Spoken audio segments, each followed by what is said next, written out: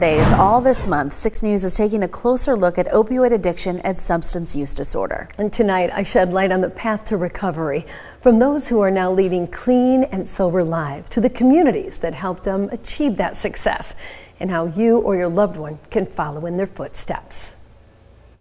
I wasn't the first one to be addicted to heroin, and I wasn't the first one trying to get clean from it. Uh, so somebody had done it before me, and, and if they did it, I could. Kalen Kofelt is eight years sober. He says recovery meetings saved his life, and staying clean is something he works at every day and will for the rest of his life. Kofelt got help from Andy's Angels, a nonprofit in Jackson County founded by Mike Hurst after his son Andy died from an opioid overdose.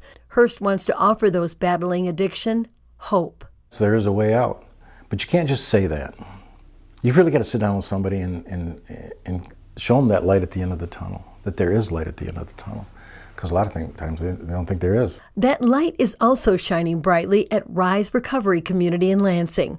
Founder and president Corey Warren says Rise is lighting the path to breaking the cycle of addiction by creating a family within a community. The recovery process gives that person a lifeline, a chance, a purpose, a reason for being here. RISE is a peer to peer recovery community. The people who come in for help get counseling from someone who has not only been in their shoes, but understands the journey of recovery. And that was Noah Sweet's life. He battled his addiction to heroin for 17 years, was homeless, in and out of prison, and entered a psychiatric ward before detoxing there and then coming to Rise. After working with his own peer recovery coach for months, he graduated from the five phase program and was hired as staff. I never thought this day would come to where I would be sober, I would have a decent life, I wouldn't be in prison for another extended amount of time. Both Noah and Kaylin say anyone on the road to sobriety knows they have to feed their recovery twice, if not 10 times as much as they did their addiction. But breaking free is possible. The person struggling with substance use disorder has to want it. But some people say you can't chase them down to get them help. But Corey from Rise feels differently. Had my mom thought like that, I might be dead right now.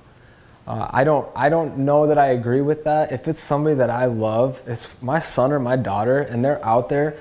I'm in my truck and I'm driving around until I find you.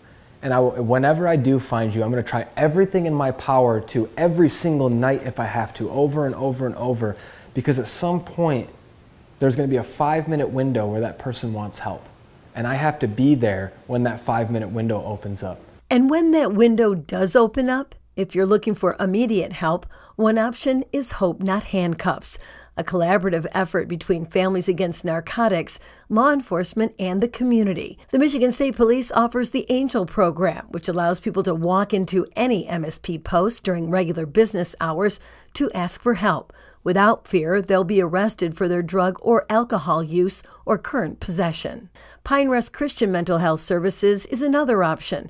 With just one call, you will set up a meeting with a therapist who will guide you through the process to determine whether you need to stay 24 7 to be medically monitored in a detox or residential program. And there's always Community Mental Health of Clinton, Eaton, and Ingham counties, which offers detox services in the Recovery Center or residential services in the House of Commons. Rise also guides people who want to achieve freedom from addiction, and they will bring you into one of their nine houses or connect you with residential treatment centers that have immediate availability. You have to just make a choice, and that choice is to love yourself.